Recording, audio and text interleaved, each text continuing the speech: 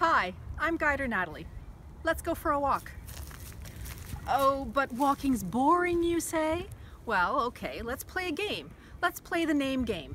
How that game works is that when you go on your walk today, think of the letters in your name.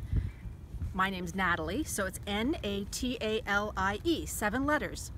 And for each letter in my name, I have to find an object outside. Doesn't have to be a natural object. Right now, and it's middle of the March in southern Ontario, so we don't have any snow left.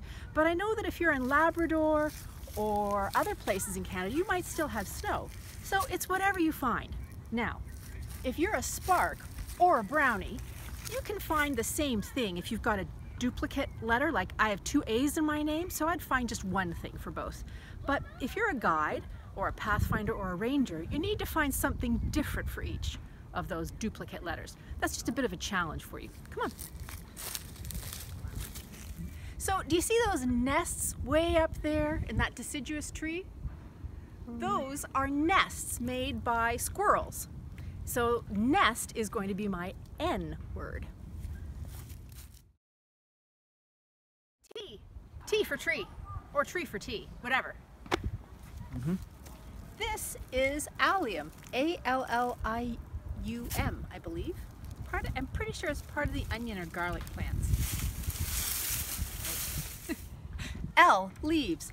And I'm pretty sure, well, I know definitely that this, that this is an oak tree. And because the curve here on the leaf is very curvy, I'm pretty sure that that might, it's either a black oak or a white oak. I think it's white.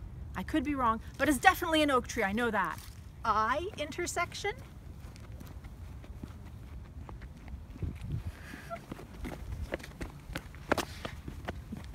E for evergreen. Of course, this really isn't just an evergreen. It has another name. It's more of a, I believe it's a yew, but it's evergreen. It's always green and all year round. So I'm going E for evergreen.